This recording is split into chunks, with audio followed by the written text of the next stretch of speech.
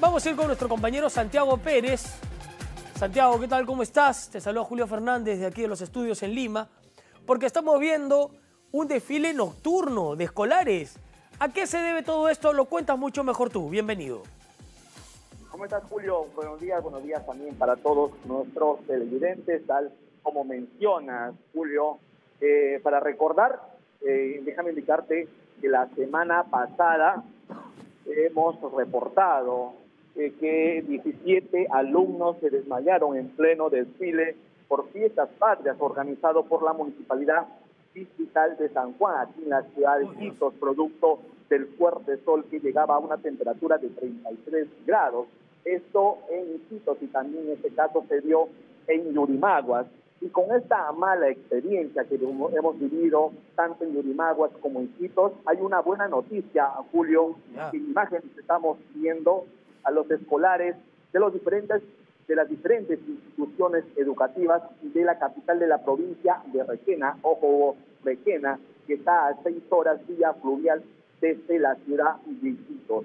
Estos alumnos por primera vez participaron en historia en un desfile cívico por fiestas patrias en horario de tarde a noche, donde empezó eh, cerca de las 5 de la tarde y culminó también cerca de las 8 de la noche. El desfile duró ya un promedio, como te decía, cerca de tres horas y en esto también había una ligera llovizna que un poco también que la gente estaba con toda la efervescencia apoyando a las instituciones educativas.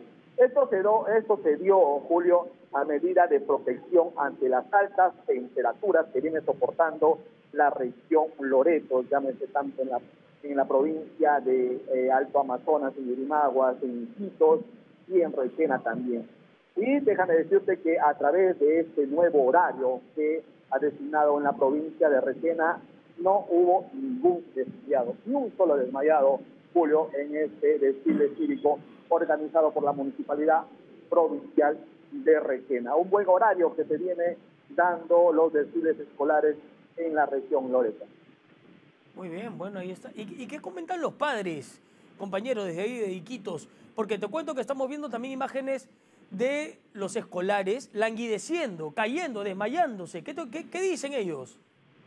Bueno, hemos podido conversar, déjame indicarte, en julio hemos podido conversar con varios padres de familia que invitaban ellos que es un buen horario para esto, para que puedan realizar estos tipos de desfiles que se dan en esta época del año teniendo en cuenta, Julio, que ah, cuando empieza el desfile cerca de las 8 a 9 de la mañana, eh, varios eh, padres, varios este, profesores de, diferentes instituciones educativas le hacen ir a los alumnos cerca de las 5, 5 y media, 6 de la mañana y para que comience el desfile eh, 9 de la mañana. Son tres horas que tienen ahí con esta temperatura alta que estamos viviendo en esta época del año aquí en la región noreste, especialmente en la ciudad de Quitos, y con este nuevo horario hay una buena imagen que hemos podido, como te decía, hemos podido Muy bien, Santiago.